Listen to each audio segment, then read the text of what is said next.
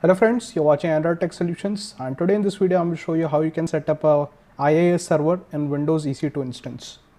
So first I'm going to show you how you can launch a Windows Server EC2 instance and then we are going to see how we can set up IIS server.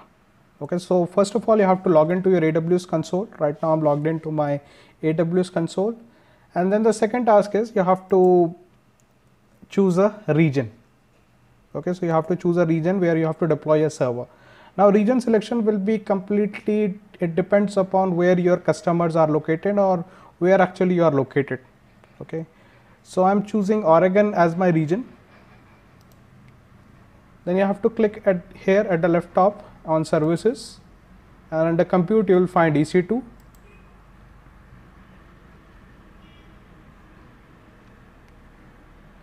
And here we'll click on launch instances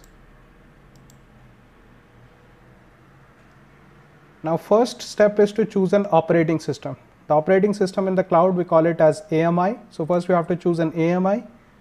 So here you'll if you scroll down you'll find Windows Server, Windows Server 2019 base operating system. Now based on your needs you can search here also. Let's say Windows. So you'll find all the operating systems which are available like Windows Server 2019 base with containers, SQL Server, 2016. Now based on your requirement you can choose, choose any of these operating system. So I will go ahead with the latest operating system available which is uh, Microsoft Windows Server 2019. Then we have to choose set a server configuration. Now based on our needs like based on the application which we are going to deploy on the server or based on the traffic on the application we have to choose a instance type. An instance type basically have your server configuration like one core CPU, one gigabyte of RAM.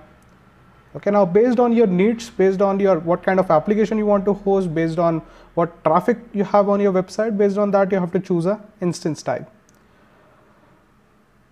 So for this demo, I'm going to use T2.micro, which is basically a free, which basically comes at the free tier plan of AWS, which means we will not be charged for uh, any of the resources which we are going to use. So I'm going to go ahead with T2.micro which has one CPU and one gigabyte of RAM. Based on your application needs, you can choose any of these instance types. Then we'll click on next. Instant details, we will keep it as default. We don't need to customize any of these uh, details. Now based on your application needs, we will be adding a storage or maybe, uh, I mean, we will be increasing the storage. So let's say I want to increase it to 50 gigabytes. And this is the storage. This is basically your C drive where your operating system will be installed. Okay, and in this C drive itself, you can uh, host your application or you can also attach a new volume where you can, which, which you can mount as a D drive in your server.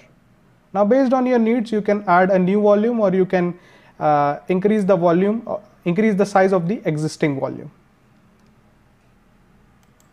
So for this demo, I'm just going to keep it to 50 gigabytes. Okay, or uh, yeah, I'm going to resize it to 50 gigabytes. By default, it is set to 30 gigabytes. Next, we have to add a tag and tag here we'll be adding name as a tag which will be name of our server. Let's say Windows Server. Now security group. Security group is basically our firewall okay it is basically cloud cloud firewall. So here you can find inbound rules. These are basically inbound rules. So inbound we have 3389 open. By default when we create we launch a windows instance so by default 3389 port is open. And what is 3389 3 in on 3389 rdp works on windows. Okay if this port is open on the security group then we can remotely log into our server. By rdp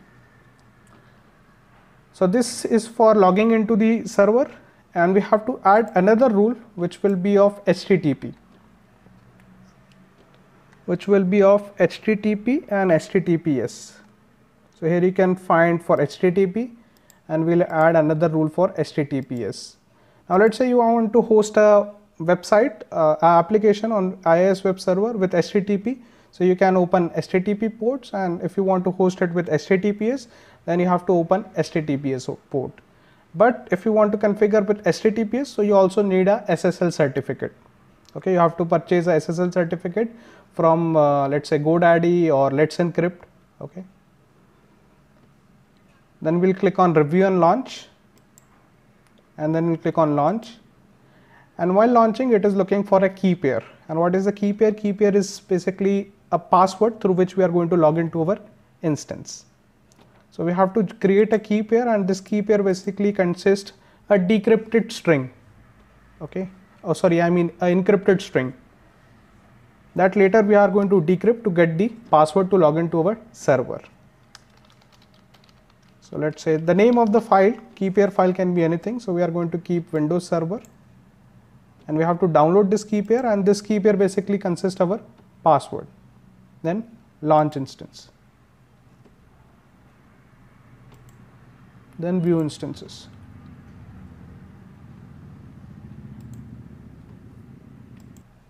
So now the instance is in running state. So once it is in running state we have to wait for at least 2 to 4 minutes for instance to provision. Okay right now if we try to connect to the instance let's say uh, so this is our instance. So I'll just right click over here and we'll go to the third option which says connect and then we'll go to the second option which is RDP client. And and here here you can find the information to connect to your instance. You can find the public DNS name the username and the password. So first we have to generate the password to log into the instance. So I will I will click on get password. So it, it is asking us to wait for 4 minutes. Okay, so when we deploy the Windows server, it takes 2 to 4 minutes to provision. So I'll skip that part. Okay, after waiting for a couple of minutes, now let us try to connect to our instance. So we'll choose the instance, then right click on it, then we'll click on connect. Then we'll go to RDP client and then here we'll click on get password. Now once it is ready, so you will be able to see this option which says you have to browse your key pair, you have to upload your key pair which you use to launch your instance. So here we are going to click on browse and you have to go to your downloads folder where your key is located which will be a .pem file. You have to upload this file and then here you will find an option of decrypt password. So once you decrypt it, so you will find a find your password to log into your instance to your Windows Server instance. Now you have to log into the Windows Server instance. So if you are in a Windows machine, so you can use this software, Remote Desktop Client, which is basically a RDP client software.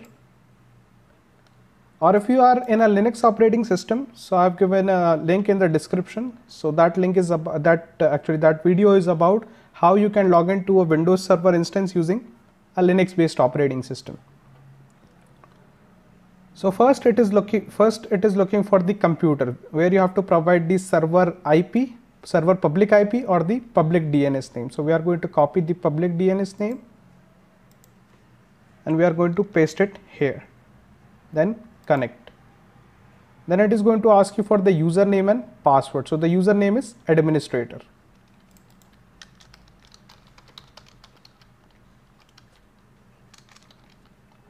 and the password this is the password which is generated.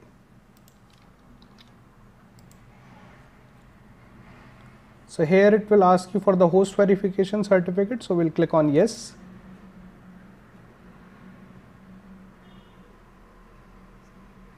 And now we are connected to our Windows Server instance. Here you can see we are logging into it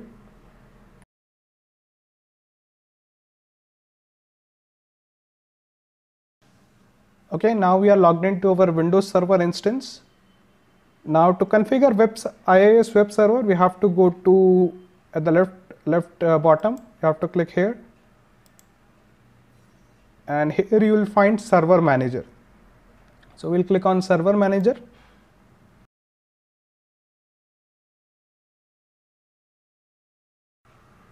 So after logging into the server you have to click at the left bottom you have to open server manager. And server manager will take like 10 15 seconds to gather some information and once it is ready then we can click on add roles and features. So right now it is not available. It is uh, collecting some information. Yeah now it is ready. So we'll click on add roles and features. And uh, for the next couple of steps we are just going to hit next. Next. Next and here in server roles you have to scroll over down. You will be able to find here web server IIS and then we have to click on add features. Then next. And now based on your needs you can install some additional softwares with IIS like .NET framework. Then next. Next. And and here you will find some other services which you can install for IIS like FTP server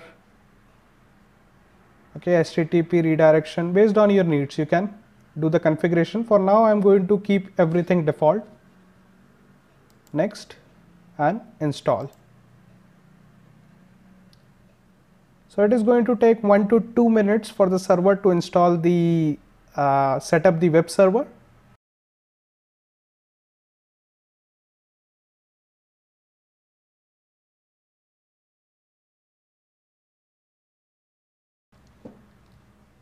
Okay, now here you can see installation succeeded. So IIS server is successfully installed. Now just to check it, we will open our Internet Explorer inside the Windows Server instance itself. And here we will type localhost.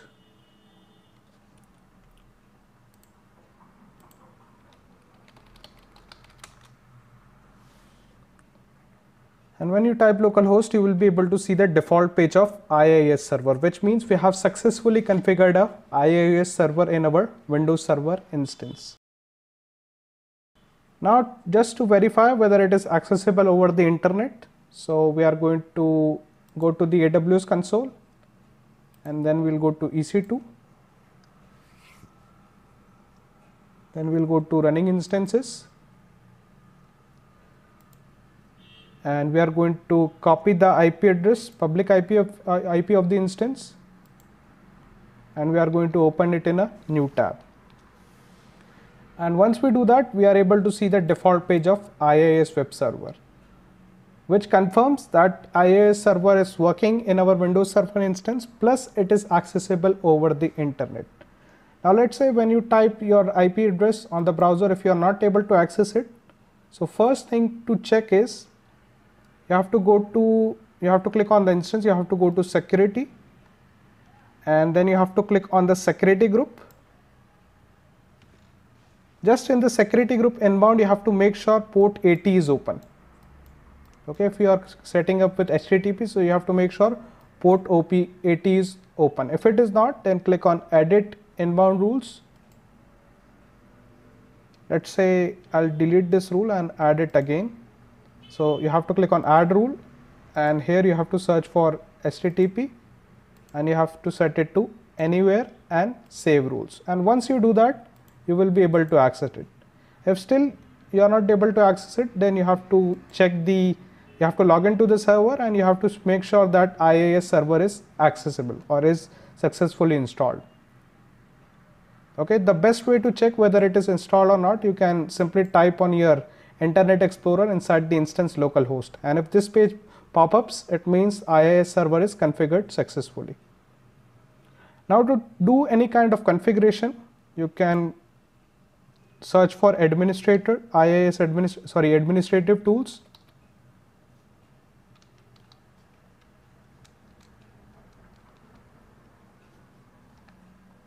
okay here you can find administrative tools